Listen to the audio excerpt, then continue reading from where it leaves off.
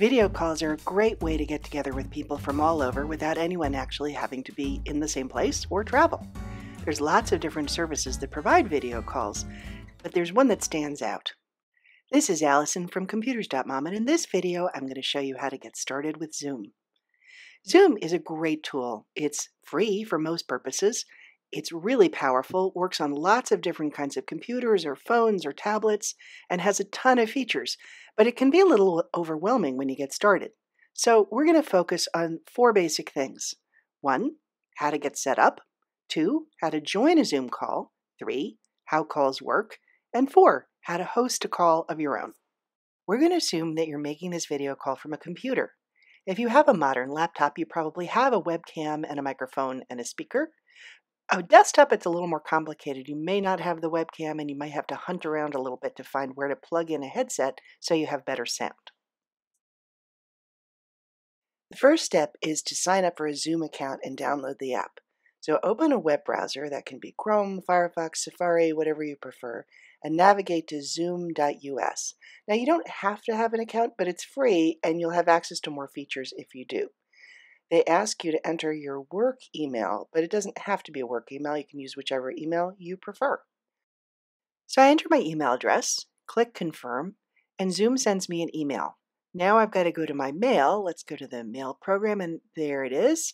To activate the account, I've got to click on the link in this email to prove that this is really my email account. Okay, then it sends me right back to the browser where they want a little bit more information. My first and last name, and I have to create a password. It, for the demo purposes, I'm just going to use a simple password, but I have to fill all their criteria, at least eight characters, at least one number, at least one letter. And you'll see as I type, when I fill the criteria, then the there they go, they turn green. Now I have to retype the same password to make sure I typed it correctly and click continue. So now my account's set up. I'm going to save the password because I like to keep track of them in my browser. This page asks you to invite your friends, which we don't need to do, so we'll skip this step. The next step is optional, but it's really useful. Let's test to make sure that we can hear the audio and that the, our voice is coming through on the other end, that the audio works both directions. But in order to start the test meeting, we have to download and install the app, the, the Zoom app. If we click Start Meeting Now, you'll get this page, which is going to be very familiar. And depending on your browser, you may have to click on download and a bunch of permissions like allow it to download and then allow it to install. It's just the normal install procedure that you would do for any program on any computer, however it works on your particular computer.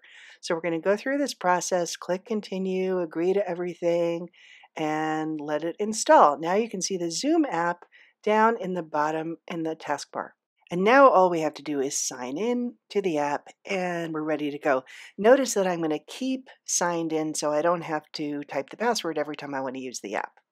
It's a feature of modern operating systems that you're going to be asked for permission for practically everything, using your microphone, using your webcam, using your speakers. So expect to have a lot of pop-ups asking for permission.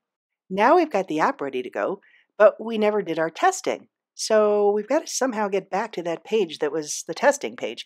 If you don't find it easily, you can always go to zoom.us forward slash test in a browser. So I'm going to go back to that page. We close all this stuff we don't need. And here we are. Start your test meeting. So if we click on this Start Meeting Now link, it'll bring up, oh, here we go, more permissions. Yes, we want to open Zoom. And now it opens a test meeting, which doesn't have any people in it.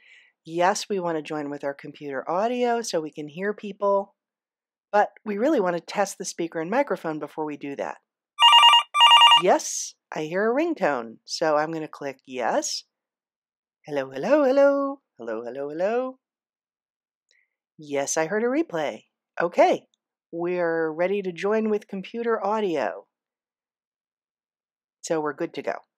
You'll see the controls at the bottom. We'll get back to those later because now we've done the testing, we're all set up.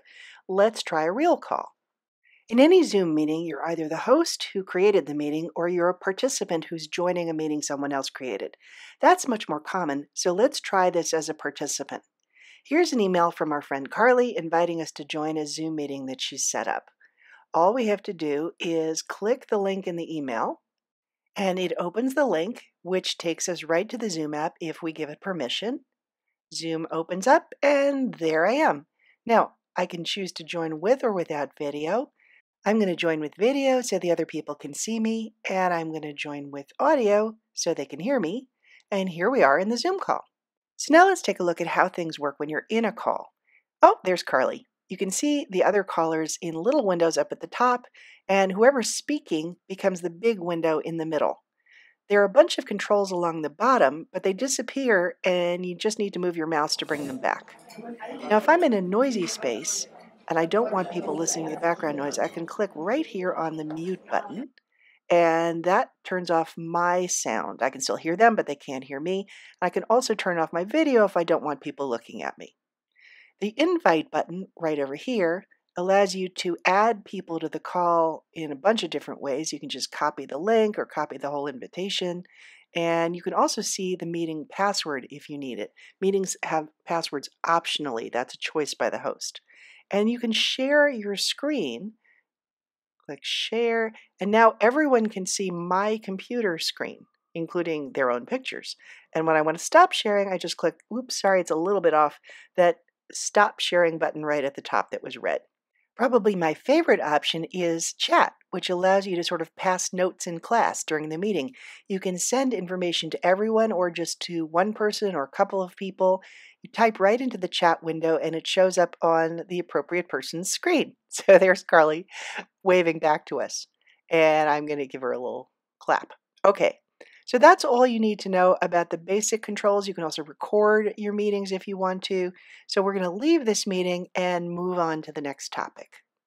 Remember how we joined this meeting? It was through an email link. I'm going to close this window, which we don't need anymore. There's the email we started from. But there's another way to join a meeting. You can just open the app and click Join. To do that, you'll need the meeting ID, which is usually nine digits, and your name is already filled in, and you just click join. So either of those ways work if you're a participant. But what if you want to host a call? You want to set up a meeting yourself. Open the app, you basically have two choices. You can either start a meeting immediately or schedule one, which is more common. So when you click the schedule button, you get a whole bunch of options. Most of them are very self explanatory, like the date and time of the call. If it's a free account, you're limited to 40 minutes. Be aware of that. There's a whole bunch of options here, including whether to require a meeting password, whether people can be in a waiting room before the call starts, and so forth and so on. You can also use your personal meeting ID, which remains the same, or generate a new one automatically. Now, last thing, if I want to start a meeting right now on the spot, I click New Meeting, and I do join, and I click Join with Computer Audio, and my meeting is live. Now, if I click this little button up here in the upper left hand corner, there's all the information about this particular meeting. The meeting ID, the password if there is one, there's a URL, the link to the meeting, which I can copy by clicking there on copy URL.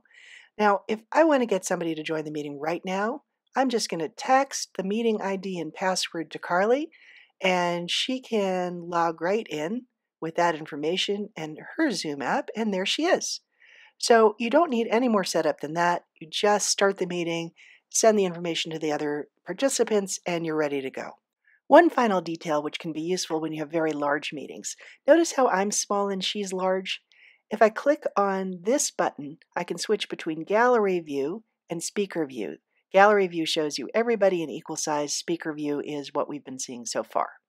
So that's all there is to it. Thanks so much for watching. Sorry this was so long, but I hope it was useful. And please feel free to subscribe to our channel, like this if you found it useful.